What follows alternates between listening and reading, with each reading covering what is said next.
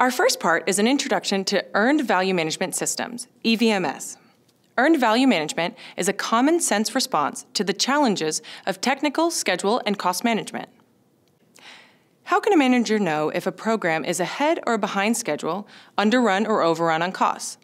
How can a manager know what changes or corrective actions to make to a program and when? How can any manager accurately understand where the program is unless there is an objective measurement of the program status? For years, programs were assessed by comparing planned and actual costs.